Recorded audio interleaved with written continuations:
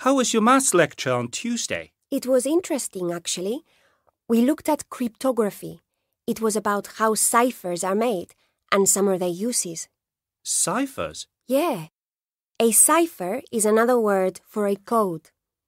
Uh, you mean like computer code, HTML, that kind of thing? Eh, no, not exactly. It was about the history of code making. Codes that people have used to send information to each other in letters, or codes for government documents. We looked at pretty much everything, from substitution ciphers to more complex codes. Right. What's a substitution cipher? A substitution cipher is when you replace the original letters in a message with other characters. Like using Z to mean A, that kind of thing. Yes, that's right.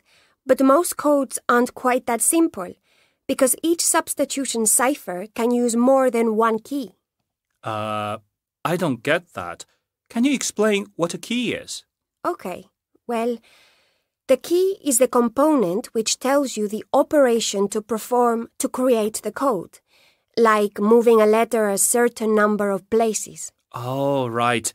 So I guess if you use one substitution cipher, then that might make Z mean A, but like another cipher could make Z mean E. Yes, exactly. The thing is that without a crib, it's almost impossible to break a code that uses a lot of keys. A crib is a type of answer key that tells you how to convert the ciphertext into a message that can be understood. Sorry, what does ciphertext mean? Ciphertext means the coded message, whatever you wanted to keep secret in the first place. Okay, interesting stuff. Did they recommend any books on it?